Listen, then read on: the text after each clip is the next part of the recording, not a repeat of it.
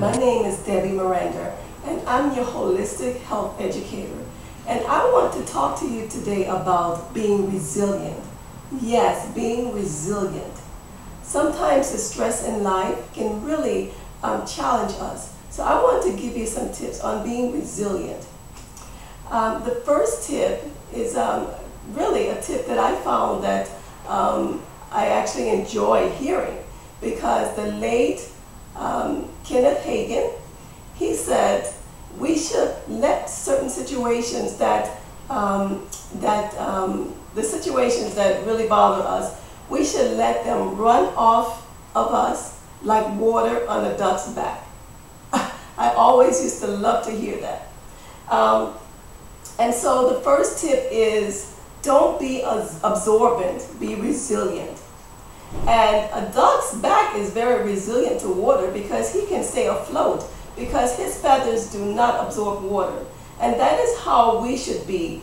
We should not allow the things that, um, that really um, cause us to stress out to absorb into us. We should let them just run off our back, run off of us like water on a duck's back.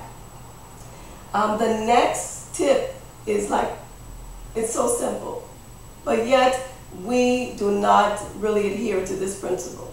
And that is don't take life too serious. Yes, there are things in life we, we have to take seriously. And those are the things that we have to just uh, pray about and really um, go before God, um, you know, regarding those situations.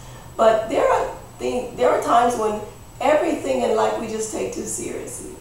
And so we have to try not to take life too seriously. And we have to try to laugh more. And I want to give a couple of benefits of laughing. Laughing reduces heart disease. Laughing is a natural painkiller. And that is because um, we have in our bodies um, is something called endorphin. It is a natural painkiller that, um, that is released when we laugh. Um, and it also improves breathing. Laughing improves breathing. It also helps you lose weight. Now, I'm figuring this one um, is because when we have so much stress in our life, we have extra uh, hormone called cortisol. And cortisol retains fluid in our body. And so we, we, we, we, um, we get excess weight because we have excess fluid. And so laughing helps lose weight. Also, um, laughing helps us to get a good sleep. And laughing decreases stress, of course. Laughing also helps you to look younger. Now, anything that would help me look younger, I'm all for it, as long as it's according to the Word of God. And so there are a lot of reasons that we, we really should laugh. Um, also, from a spiritual standpoint, we need to, um, to, to, to become resilient, we need to look up scriptures that pertain to the situation we're going to.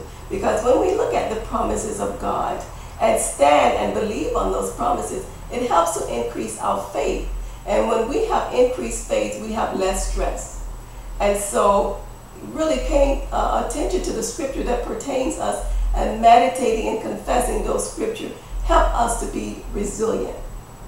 Um, we have to also um, look at what God has brought us through in our past. And we need to confess and declare to the, our situation, this too shall pass.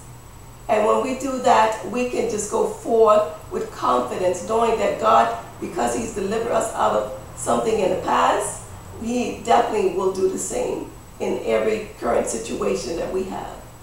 Also, uh, when we look at the body, um, things that will help us be resilient, the vitamin B complex is a anti-stress vitamin. It's similar to vitamin C because it is um, a water-soluble vitamin. And whatever your body don't use, it loses. But you know you can't overdose on vitamin B. It is um, a, a, it, it increase um, the um, uh, the activity of the adrenal glands because we suppress our adrenal glands when we're all stressed out and we overwork our adrenal glands. So vitamin B it really helps our adrenal gland.